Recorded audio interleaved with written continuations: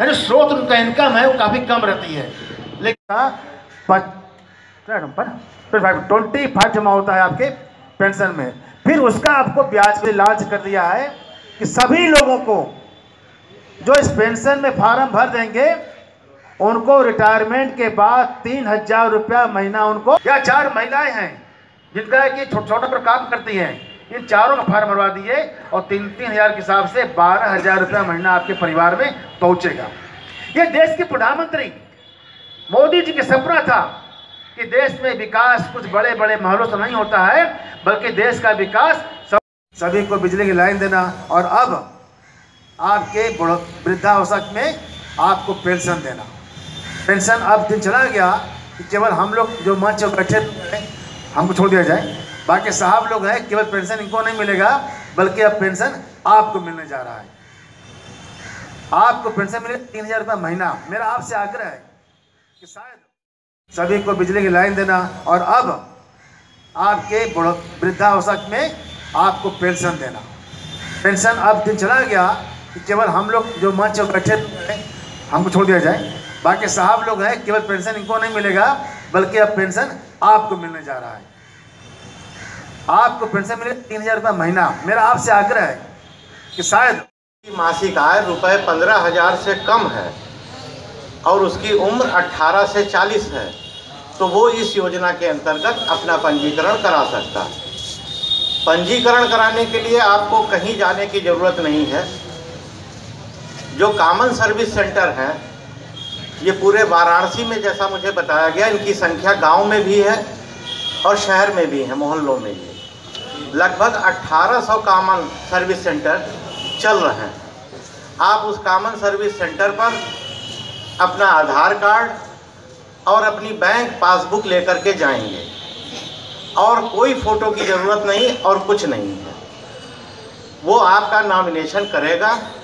Nomination करने के बाद कंप्यूटर स्क्रीन पर जो आपकी आधार कार्ड की उम्र है, वही उम्र मान ली जाएगी। आपको इनकम का कोई भी प्रमाण पत्र नहीं देना है। जो आप घोषणा कर देंगे, वो सरकार मान लेगी। आपको, आप पीएफ और ईएसआई में अगर आवर्त हैं, तब इस योजना के अंतर्गत पात्र नहीं है। लेकिन असंगठित क्षेत्र में हमारे बहुत से भाई ऐसे हैं, जो खेतिहर मजदूर हैं, जो मोची हैं, धोबी हैं, ये लोग सभी आवर्त हैं। यहाँ तक कि छोटे दुकानदार भी आवर्त हैं। खुमचा लगाते हैं, रेहड़ी लगाते हैं, घर पर काम करते हैं, किसी प्रकार का काम करते हैं। कोई रोक और कोई प्रतिबंध नहीं है। तो आपको कोई इनकम प्रमाण पत्र नहीं देना है, कोई अन्य प्रमाण पत्र नहीं देना है। जो घोषणा आप करेंगे, सरकार मान लेगी। आपकी उम्र के हिसाब से कंप्यूटर ही बता देगा कि आपको कितना पैसा देना है। सर, मैं श्रम विभाग E S I P F L I C जो सहयोगी विभाग हैं, उनकी ओर से और खुशहाली के लिए विभिन्न कार्यक्रम का शुरुआत किया है।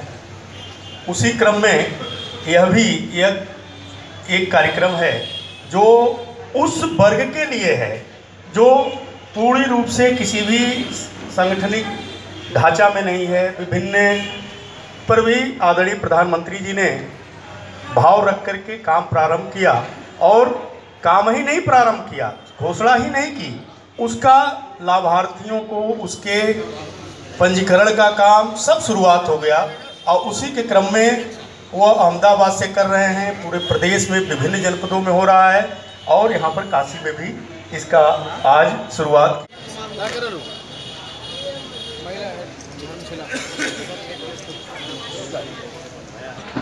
जो एक रिक्शा चालक है इन्होंने अपना एनरोलमेंट कराया है। श्री संजय पटेल। श्री पट- संजाने वाले हैं पुत्र श्री श्याम नारायण एक एक करके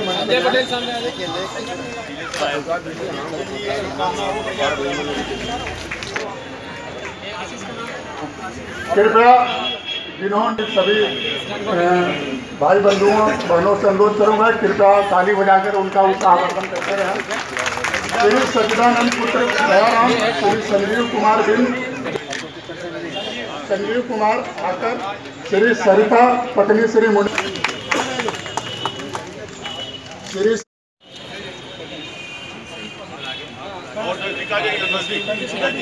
मेरे कार्यालय के सहयोगों से अनुरोध है। पैकेज जो भी